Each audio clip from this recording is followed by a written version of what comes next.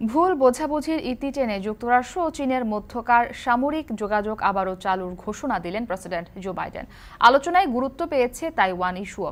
এমনকি আগামীতে চীন যুক্তরাষ্ট্র সম্পর্ক নতুন করে এগিয়ে নেওয়ার অভিপ্রায়ও ব্যক্ত করেছেন শি জিনপিং।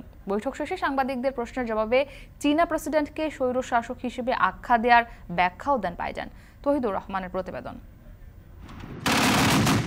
রাশিয়া ইউক্রেন যুদ্ধে টালমাটাল বৈশ্বিক অর্থনীতি। এর মধ্যেই হামাসকে নিশ্চিহ্ন করার নামে গাজায় আগ্রাসী হামলা চালাচ্ছে ইসরায়েল। তাইওয়ান ইস্যু নিয়ে যুক্তরাষ্ট্র ও চীনের মধ্যে স্নায়ু যুদ্ধ উত্তেজনা তো আছেই। ভূ রাজনৈতিক উত্তেজনায় আধিপত্য বিস্তারে বরাবরই বিপরীতমুখী পদক্ষেপ নিতে দেখা যায় দুই পরাশক্তি রাষ্ট্রকে। এতে করে ওয়াশিংটন ও বেইজিংয়ের মধ্যে প্রায়ই বিরাজ করে উত্তেজনা। এবার সম্পর্কের পালে বইতে শুরু করেছে সুদিনের হাওয়া। সান ফ্রান্সিসকোয় অ্যাপেকের ত্রিশতম সম্মেলনের সাইডলাইনের বৈঠকে এক হয়েছেন দুই নেতা। এ সময় দুদেশের সংঘাতে জড়ানো আর উচিত হবে না বলে অভিমত ব্যক্ত করেছেন মার্কিন প্রেসিডেন্ট। ভুল বোঝাবুঝির অবসান হয়েছে বলেও দাবি করেন তিনি। চার ঘণ্টার রুদ্ধদ্বার বৈঠকে তাইওয়ান প্রণালীতে শান্তি ও স্থিতিশীলতার উপর জোর দেওয়া হয়েছে বলে দাবি করে যুক্তরাষ্ট্র। Military to military contact, direct contacts. As a lot of you press know, follow this, that's been cut off and it's been very worrisome. That's how accidents happen, misunderstandings. So we're back to direct, open, clear, direct communications on a, on a, on a direct basis. That's what the world expects of us.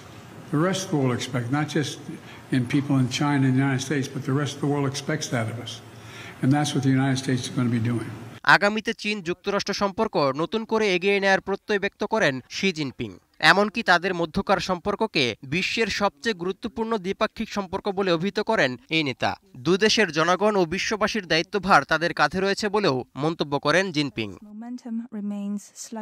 বৈঠক শেষে করা সংবাদ সম্মেলনে সাংবাদিকদের প্রশ্নের জবাব দিতে গিয়ে শি জিনপিংকে আবারও স্বৈর শাসক হিসেবে আখ্যা দেন বাইডেন। তবে এর ব্যাখ্যাও দিয়েছেন তিনি। Well, look, he is. I mean, he's a dictator in the sense that he, he is the guy who runs a country that is a communist country that based on a form of government totally different than ours. গত বছরের নভেম্বরেও দুদেশের সম্পর্ক স্থিতিশীল রাখার জন্য ইন্দোনেশিয়ার বালিতে বৈঠকে বসেছিলেন বাইডেন ও জিনপিং তৌহিদুর রহমান এখন বিশ্ব ওয়ালটন ফ্রিজ কিনে পেতে পারেন দুইশো পার্সেন্ট পর্যন্ত ক্যাশ ভাউচার